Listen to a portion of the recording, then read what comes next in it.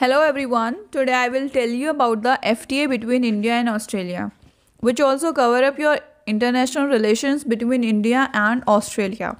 First of all, you should know about FTA that is free trade agreement. FTA are treaties between two or more countries designed to reduce or eliminate certain barriers to trade and investment and to facilitate stronger trade and commercial ties between participating countries. For an example, ASEAN Comprehensive Economic Cooperation Agreement CECA in which the trade in goods and services and investment agreements in which the member countries are Brunei, Cambodia, Indonesia, Laos, Malaysia, Myanmar, Philippines, Singapore, Thailand and Vietnam. One more thing, you should keep in your mind that India could not become a member of this association due to its geographical location. India is a part of South Asia while ASEAN is an organization of Southeast Asian nations. With the free trade agreement between India and Australia coming into force in April 2022 in the last year, the business relationship between the two countries will not only get strengthened, it will also open a new vista for local industries. The importance of this economic cooperation and free trade agreement can be understood from the fact that due to this there will be no duty on 6000 products exported from India to Australia. This would particularly benefit the textile, gems, jewelry, leather and IT sectors whose Indian products are in high demand in Australia. Commerce Minister Piyush Goyal has expressed hope that the bilateral trade between the two countries will double in the next 5 years.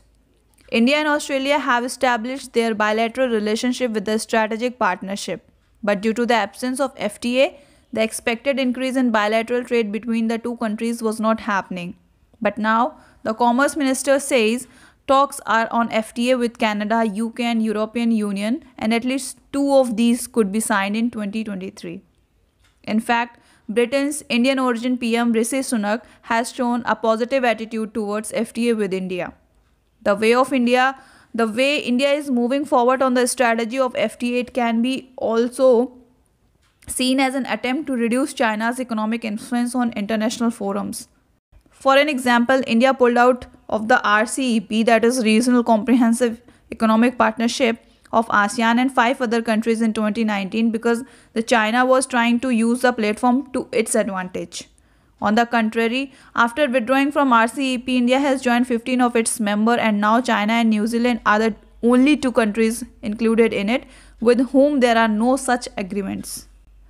The government of India under its ambitious Atmanirbhar program aims to increase exports 6 times from 2020 levels to 2 trillion dollar by 2030 which would not be possible without free trade agreements with more countries.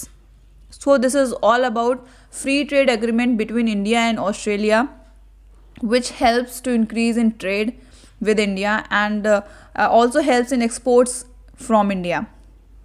Thank you so much. I will meet you with the next topic.